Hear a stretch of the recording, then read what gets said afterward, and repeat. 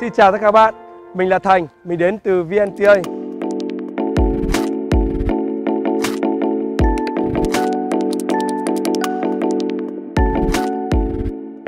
Và đây là cái clip thứ hai nói về chủ đề tennis fitness. Cái clip đầu tiên tôi chia sẻ với các bạn đó là các bài tập về làm giãn cơ gồm có vai, có chân, có hông, lưng, đúng không? Và ngày hôm nay tiếp tục là một cái clip tôi chia sẻ với các bạn đó là những bài tập về quá trình bật nhảy. Những ai trong hoạt động thi đấu thường di chuyển tại vị trí ban đầu ra các vị trí nó bị chậm, thì những bài tập này cực kỳ có giá trị với các bạn. Giúp cho các bạn không chỉ là sau này chúng ta vồ vô lê tốt, chúng ta chạy ra cứu những pha bóng xa tốt, mà ngoài ra còn giúp cho các bạn tiến về phía trước để tấn công những pha bóng ngắn tốt. Vậy là tập luyện tuy chỉ một vài bài tập này thôi, nhưng nó có một cái giá trị nhất định. Bài tập đầu tiên là chúng ta tập bước freestep step rộng chân. Bật nhảy. Lúc này có thể kết hợp với nhảy dây cũng được. Ban đầu này, baby step. Sau đó là bật trên dưới. Bật trái phải. Đây nó giống như bước free step. Free step đều. 10 15 giây chuyển. Bật cao, dần đều. Thì đây là bài tập đầu tiên. Là bài tập bật nhảy tại chỗ. Nó sẽ giúp cho các bạn có được một cái bộ chân nhanh. Có thể kết hợp với nhảy dây cũng được. Nhưng mà vì là tôi xây dựng những cái bài tập, tôi biên tập những cái bài tập mà nó không cần quá nhiều đồ tập. Vì ở ờ, nhà các bạn có thể chật hẹp con cái văng vào đâu, thứ sẽ hỏng hết là đồ đạc các bạn. Nên là tôi ờ, chia sẻ những bài tập rất là giá trị tại chỗ gần như tại chỗ rồi bài tập thứ hai.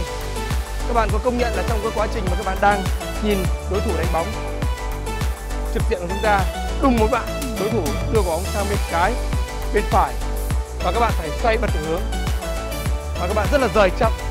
Thì bài tập này sẽ giúp cho các bạn trô được cái cơ thể các bạn, phản lực của các bạn các bạn vào cái vị trí xa ở hai bên.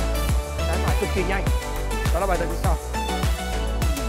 Một là các bạn phải tập quay cơ thể về các hướng đã về các hướng. Đấy, các hướng. Các bạn có thể tập bật bật vào. Liên quan bài tập bật bật về hướng. Có tính nhịp điệu.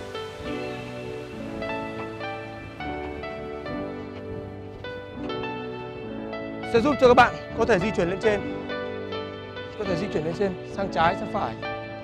Đúng không bài tập này cực kỳ tốt. Hoặc có thể set up luôn bộ forehand này. bài tập thứ ba, nó sẽ chạy sang hai bên bằng bài tập sau. Chúng ta lấy toàn bộ trọng tâm, chuyển về một chân trái. Đồng thời lúc này, cơ thể chúng ta sẽ bật sang phải xa và giữ trọng tâm. Hai tay chúng ta rộng. Thì có phải đúng là một là có thể đánh bộ mở luôn. Đúng không? Hai là chúng ta có thể chạy thêm một bước thứ hai nữa.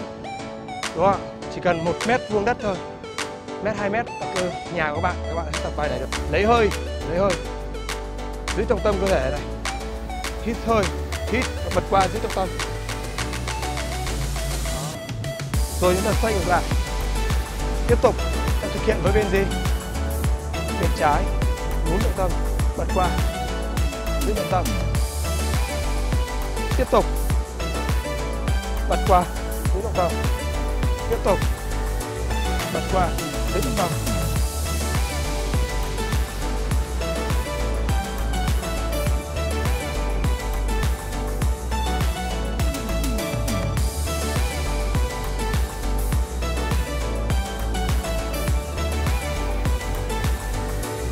Vậy thì với cái bài tập này giúp cho các bạn một là chúng ta có thể set up luôn trả ra bóng.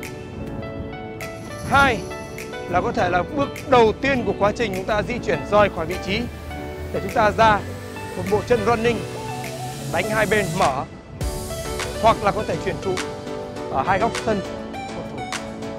Đúng không? Ba là có thể các bạn sau này có thể bay vô lê. Bốn là các bạn có nhớ cái động tác kết thúc của một cú sấp. Nó cũng cần. Quá trình thăng bằng vậy là một bài tập. Những nhà khoa học người ta nghiên cứu hệ thống bài tập bổ trợ. Giúp cho chúng ta để hiểu bài tập bổ trợ đấy nó có tác dụng gì trong cái động tác, trong hoạt động thực tế, tập luyện, thực chiến. Nó là một khâu của một quá trình kỹ thuật nào đó. Thì các bạn ấy sử dụng nó. Và VNTA thì luôn luôn lấy cái bài tập chủ lực, bài tập key để giúp cho học trò tiến bộ nhanh, chứ không phải là tham khảo bà lô la rất là nhiều video thầy nọ, bà kia, vân vân. Rồi cuối cùng, nó sẽ bị sai lệch về bản chất vấn đề. Yếu phần nào, ta đi luyện phần đó. Yếu về chân, ta luyện về chân. Yếu về tay, ta luyện về tay. Tay thì bản chất ấy, chỉ có 20% thôi. Chủ yếu 50% sức mạnh từ chân 30% sức mạnh từ thân và 20% sức mạnh về tay. Và đây là sự thật sự thật của vấn đề và luôn luôn chúng ta phải chấp nhận sự thật đó. Chúng ta không thể nào đi, cứ tập trung vào tay. Vào tay mà cuối cùng chúng ta lại quên đi cái việc chúng ta xây dựng cái hệ thống bài tập về chân. Thì đây là một điều rất là đáng buồn của nhiều những cái tư duy lối mòn cũ trước kia. Và một cái bài tập tiếp theo của chúng ta đó là gì? Vừa rồi là chúng ta đã tập cái bài tập là từ cái vị trí này chúng ta bật xoay thân người nhưng mà đó là những cái bài tập mà chúng ta giúp từ cơ thể ở tư thế đứng ban đầu giữa tâm sân đi. Và chúng ta bật sang vị trí kia, đúng không? Vị trí kia, vị trí xa xa sân còn bây giờ là những cái tình huống chúng ta lúc bật đấy bật nhảy. Nhưng mà bật nhảy sang ngang thôi. Nó sẽ giúp chúng ta sau này quá trình di chuyển về rất nhanh. Chúng ta tập như sau. Cũng lấy trọng tâm từ cơ thể, chân trái ta chuyển qua chân phải. Chúng ta lưng lại. Tiếp tục. Là chuyển qua bên này. Chúng ta dừng lại. Tiếp tục chuyển qua. Bật càng xa càng tốt và dần dần, ban đầu chúng ta hay bị mất thăng bằng, chúng ta chống cái chân này đây. Là basic. Đúng không? Nhưng sau này chúng ta sẽ phải đứng ở trên một chân. Ngày thứ hai, ngày thứ ba chúng ta đứng ở trên một chân. Và dần dần chúng ta sẽ luyện cực kỳ tốt luôn. Các bạn nhớ, đây là chương trình 10 ngày.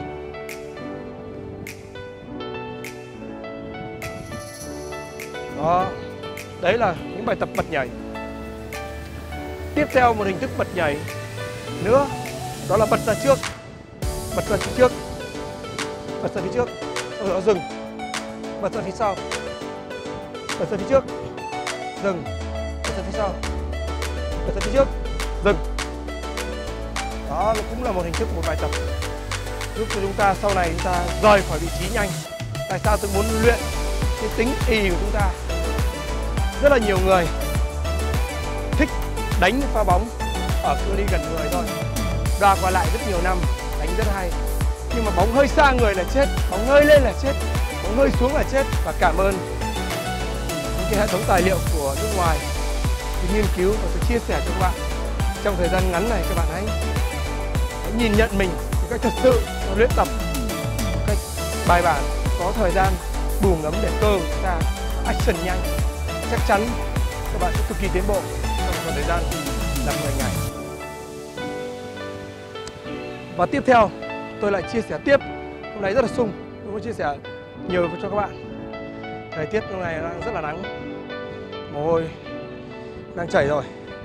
Và bài tập tiếp theo cũng là một hình thức di chuyển hoạt động đặc thù của tennis. Đó là hoạt động chạy và dừng chạy và dừng.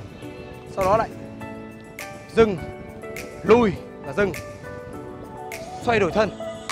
Đó, chạy xoay đổi thân đây là nhóm bài tập kết hợp với quá trình chạy có điểm dừng và chạy xoay đổi thân. Các bạn nhớ nhá các bạn có thể lấy lấy giấy bút ghi lại và bài tập như sau. Chỉ cần hai ba mét thôi thì tôi xây dựng cái bài tập này. Có thể các bạn sẽ chạy dài vì sân ở đây rất là rộng đúng không? Nhưng mà tôi muốn là tại nhà thì các bạn ở chung cư các bạn có thể ra sảnh chung cư hoặc là nhà hai ba mét các bạn tập. Giống như tôi bật video lên bật điện thoại lên và từng bài tập một là pau lại và, và, và dừng lại tập theo ta dừng lại, tập theo. Rồi, ta chạy. Ta dừng. Tiếp tục, ta lại lùi. Chạy. Ta lại dừng. Lùi. Đánh tay đúng. Chạy. Dừng. Lại lùi. Chạy. Dừng. Lại lùi. Chạy. Dừng. Lại lùi. Chạy. Dừng. Lại lùi. Đấy là một bài tập cực kỳ giá trị để sau này chúng ta phanh được trụ giữ được trụ. Trụ nào chúng ta có thể dùng được. Tiếp theo đó là chạy, kết hợp với lại đổi vị trí. Chạy kết hợp với đổi vị trí, các bạn nhớ này. Tôi chạy một hai mét, sau đó tôi chuyển sang di ngang một hai bước. Chạy một hai mét. Và tiếp tục chạy một hai mét. Hoặc là tôi lại chạy một hai mét. Tiếp tục chạy một hai mét. Lại chạy một hai mét, sau đó tôi di ngang tôi chạy một hai mét, tôi di ngang các bạn có thể đổi sang bên phải, đổi sang bên trái tùy. Tôi lấy ví dụ, một cái tình huống bóng. Mình đánh. Mình đang chạy. Đó mình di về ngang về. Mình chạy về, hoặc là mình đổ chéo, mình ra về. Đổ chéo, mình ra về. Nhưng câu chuyện là có những tình huống mình ra mình cứu. Cứu vào slide thì mình phải quay đầu ngược lại. Tôi lấy ví dụ chạy ra đang chạy như này. Đang chạy như này. Thực ra mình cứu này. Lúc đó mình sẽ quay lên mình chạy. Chứ không phải là câu chuyện là mình đánh backhand này. Quay bởi vì sân lúc này đang bên này. Các bạn nhớ nhá. đó là cái mà tôi muốn chia sẻ với các bạn về cái việc các bài tập giúp cho các bạn hiểu được bản chất vấn đề là phải xây dựng các bài tập tại chỗ. Sau các bài tập tại chỗ, sẽ là các bài tập bật nhảy và sau các bài tập bên nhảy là các bài tập di chuyển. Đó là cái chuyên đề kết thúc chuyên đề thứ hai. Còn cực kỳ nhiều bài tập hơn nữa.